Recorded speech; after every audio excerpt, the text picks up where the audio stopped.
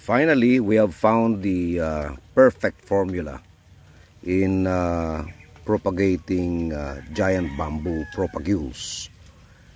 This is the proof. Ito po mga one week old na propagules na inilagay natin sa seedling bag na ang gamit natin na uh, medium is uh, coco pit uh, instead of uh, using the uh, usual earth soil. So makikita ninyo, uh, coco pit with uh, vermicast and anaa as uh, root growth enhancer.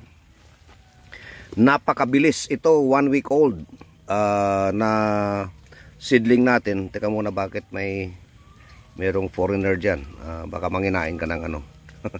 I don't know what insect is this. Pero sige lang, mamaya. Uh, so makikita po ninyo, uh, talagang halos 100% ang germination ng ating uh, uh, mga bamboo propagules ng giant bamboo na galing kay uh, Ma'am Mirna Disipulo, Disipulo sa Bukidnon.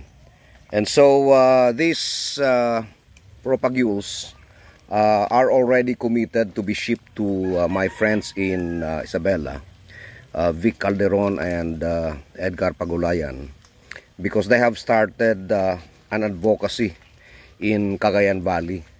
Napansin kasi nila na tuloy-tuloy na yung uh, pagbaha sa Cagayan River. So these uh, two gentlemen uh, asked me uh, to help them establish a uh, bamboo nursery using uh, the uh, giant bamboo propagules. So ito po, we are producing about 100,000 seedlings for them for their nursery in Isabela. And ito yung unang batch of uh, about 24,000 na ngayon po ay tumutubo na. So we will not wait until they are fully grown because baka mabali sa transport. At this stage, maybe starting next week, we will already be shipping these to them uh, para maski stock sa truck itong mga seedlings ay hindi mababali at mapuputol yung mga sprouts. But uh, what is very encouraging here is the fact that uh, ako personally uh, I'm surprised no at the rate these uh, propagules are sprouting actually. Pati sa baba, no, makikita nyo ang bilis uh, and uh, this could be mainly because of the coco peat that we're using with uh, vermicast and uh, the uh, root growth enhancer that we mixed with the water which we used in watering these uh, propagules. So it's an endless uh, line of propagules almost all of them sprouting. Merong manggilang-gilang siguro yung mga matatanda or nag-dry up siguro na hindi tumutubo.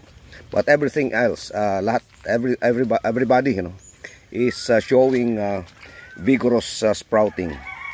And look at this. Isang puno ay uh, grabe yung sprouting niya.